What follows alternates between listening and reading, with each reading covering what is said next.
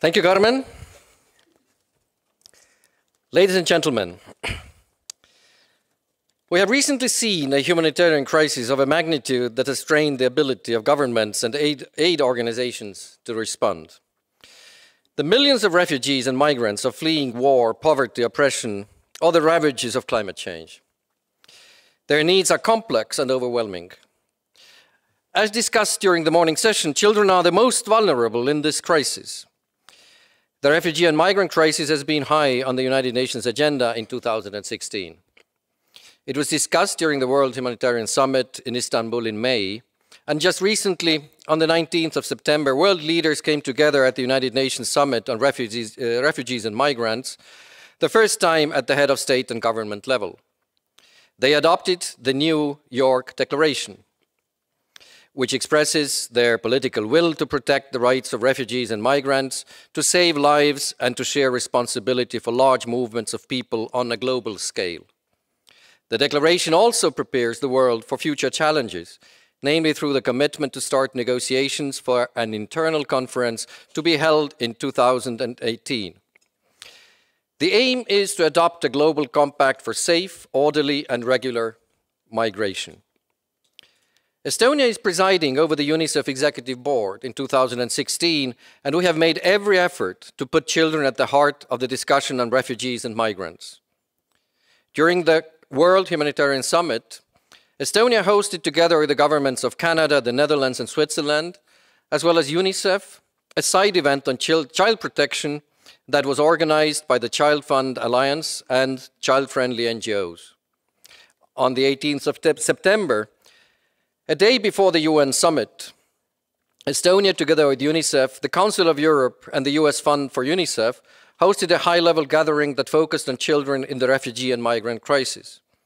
At the event, numerous speakers emphasized that whether the, these children were migrants, refugees, or internally displaced, they were children first. We need to protect them from violence, keep families together, and invest in their future by giving them the opportunity to go to school. Ladies and gentlemen, high-level discussions are important to draw the attention of the world to the impact of this crisis on children, but even more so is the work in the field. Therefore, I would like to commend UNICEF for all its efforts on behalf of the millions of displaced children, from getting up, uh, setting up safe spaces along migration routes in Europe to pro uh, providing food, water, shelter, healthcare, and educational services in refugee camps. Much more needs to be done. We must be bold enough to try new, imaginative approaches and cooperate with new partners. This brings me to the next topic of today's conference, the possibilities of the digi digital world and challenges of the digital environment. In Estonia, we have experienced how digital technology and public-private partnerships can deliver development. Digital innovation has brought Estonia more economic growth, more resource efficiency, and more human development. All Estonians receive a unique digital identity at birth that enables us to access digital services related to everything from healthcare and education to child protection. In the interconnected world in which Estonia is fortunate to participate, we take these kinds of services for granted. The digital environment offers new methods for improving the lives of children in the developing world and protecting their rights. For example, technology can increase access to education for out-of-school children or children living in remote areas and improve the quality of their education. During a recent vi field visit of the Bureau of UNICEF Executive Board, I saw an excellent example of UNICEF's work in this area when visiting an ICT-based school using digital technology and satellite-based internet in the village of La Bomba in the province of Salta, Argentina.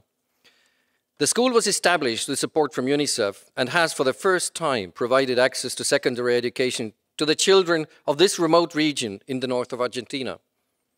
And I have to say that a spark in the eye of a child in that school, not just one among the numbing number of millions, but a child with a name and a smile really reminded me what the work of the United Nations and UNICEF is and should be all about.